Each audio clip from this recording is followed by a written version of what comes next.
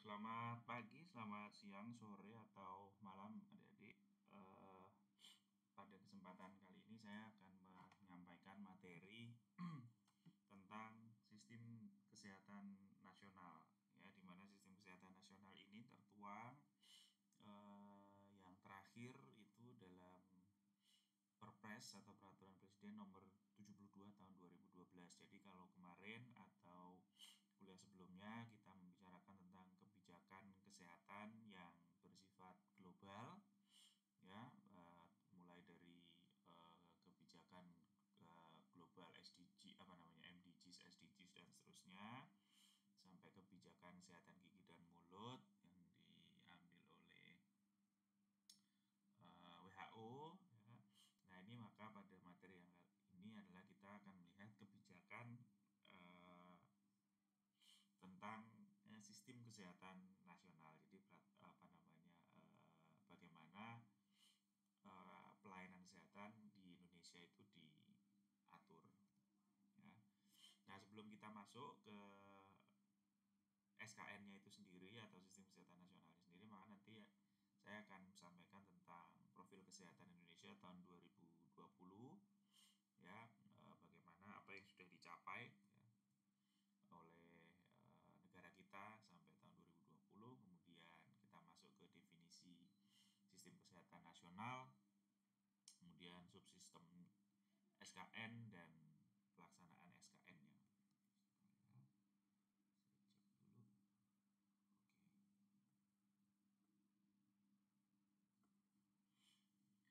Oke, sekarang kita masuk ke bagian pertama yaitu tentang latar belakang profil kesehatan Indonesia tahun 2019 yang diambil tahun 2020 ya.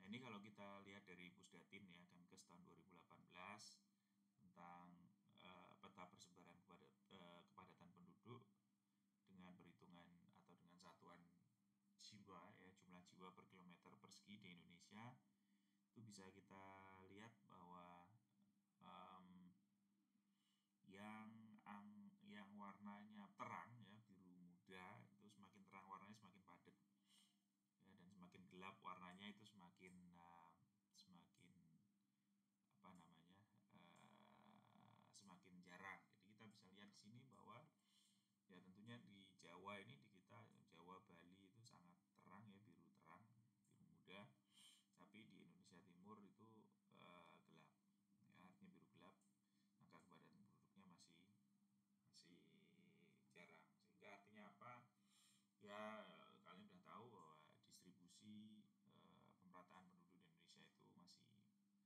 timpang nah kemudian ini adalah uh, piramida penduduk ya jadi berdasarkan apa namanya usia. Kita bisa lihat di sini bahwa sebetulnya ini masih berbentuk apa namanya uh, uh, kalau kamu sudah belajar demografi ya ini bentuknya beranjak ke penduduk usia tua ya beranjak ke sana karena ini uh, kalau masih dia uh, berbentuk seperti ini ya, maksudnya segitiga yang e, ramping itu maka usia harapan hidup masih rendah. Tapi kita bisa lihat di sini bahwa ini sudah membentuk bel ya, yang di mana puncaknya ini semakin lebar. Ya kalau puncaknya semakin lebar artinya usia harapan hidup itu sudah semakin tinggi ya, jadi semakin banyak populasi e, lansia ya, e, walaupun ini di sini di usia uh, balita juga masih tinggi ya tapi ini apa namanya uh, bentuknya masih kurvanya masih mulai mulai stabil dan mulai memanjang di usia tua. Kemudian kalau kita lihat tentang garis kemiskinan di Indonesia tahun 2015 sampai 19 kita bisa lihat bahwa pendapatan per kapitanya itu meningkat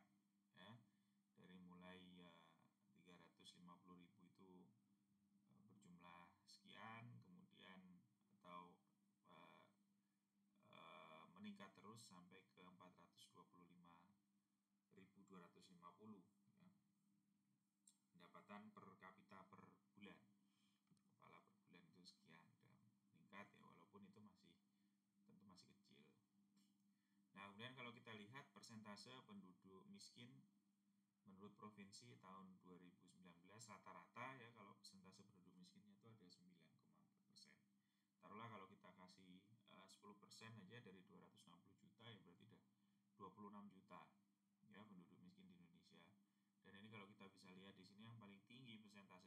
Papua. Paling rendah persentasenya ada di Jakarta.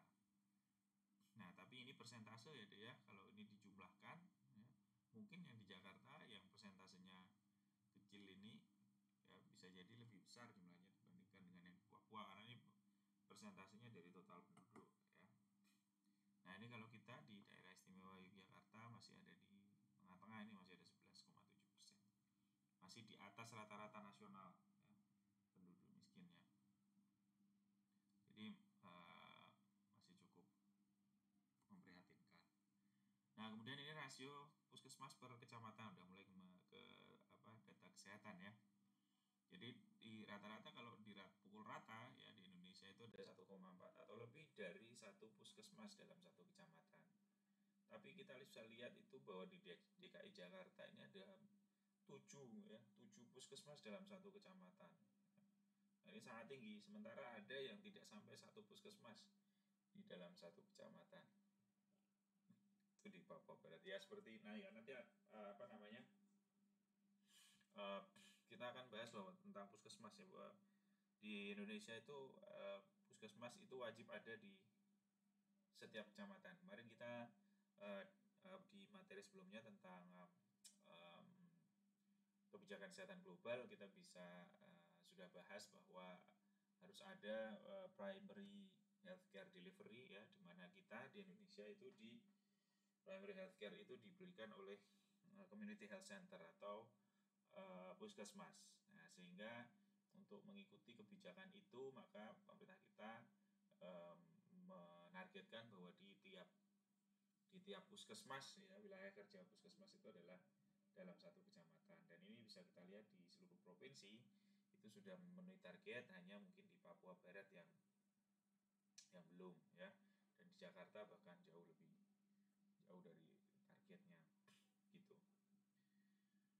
Nah, kemudian ada rasio tempat tidur atau bed rumah sakit per 1000 penduduk di Indonesia menurut provinsi. Kita bisa lihat di sini rasionya itu rata-rata 1,18 dengan rasio tertinggi ada di Jakarta ada dua bed per uh, eh, 1000 penduduk. di Yogyakarta lumayan tinggi. Ya, tapi ada yang masih belum sampai satu ini yang di bawah sini ada di Riau di Nusa Tenggara Barat ini belum sampai satu jadi belum ideal ya. angka kematian ibu di Indonesia per 100 ribu kelahiran hidup. Ya ini kemarin kita bisa kita, ah, salah satu uh, indikator dari uh, apa namanya uh, uh, apa namanya dari indikator kesehatan ya secara apa namanya uh, global itu adalah angka kematian ibu per atau maternal mortality rate ya uh, angka kematian ibu dalam 100.000 kelahiran hidup.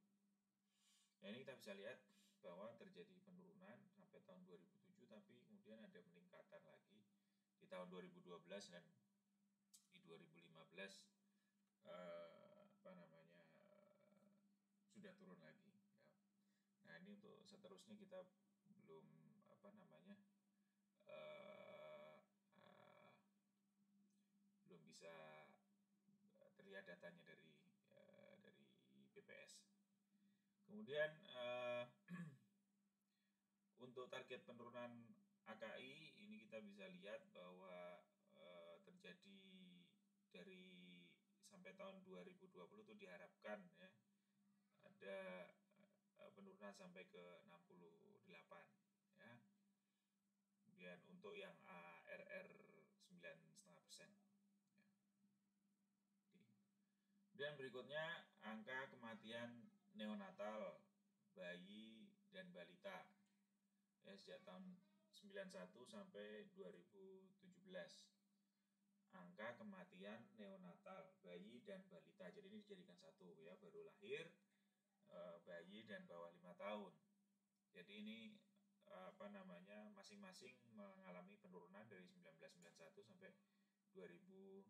Jadi ini menunjukkan tren yang bagus. Ya, ini menunjukkan tren yang bagus. Kemudian case detection rate ya, atau uh, apa namanya uh, rasio deteksi penyakit menular. Ya. Nah ini meningkat. Jadi kalau terdeteksi lebih banyak tentunya lebih baik.